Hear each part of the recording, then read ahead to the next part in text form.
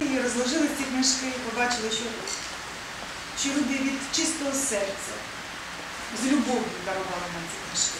Ми обов'язково поділимося з нашими бібліотеками, адже не тільки центральна бібліотека повинна мати ці дарунки.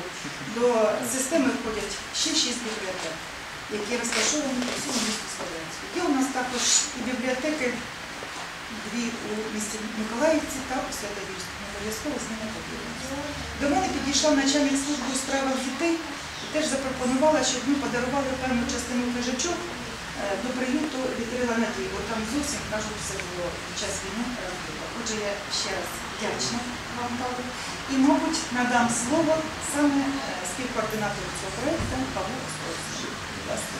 Дякую. Е, Цим проєктом займаюся не тільки я, це група волонтерів у Львові, які е, вирішили в такий спосіб підтримувати Донбас, е, знаходити можливість шукати книжки, наприклад, українську символіку, диски з музикою, також інші в якихось інших видах знаходити співпрацю.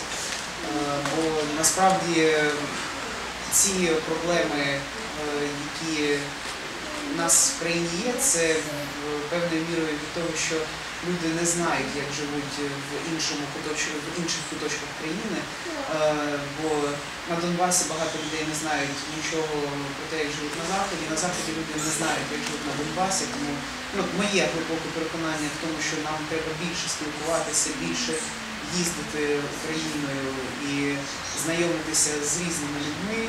Е, І от е, власне такий проєкт він е, відкриває українське тут на Донбасі. Тут ми передали книжки, серед яких сучасна література, дитяча література, також е, книжки історичного характеру та інші.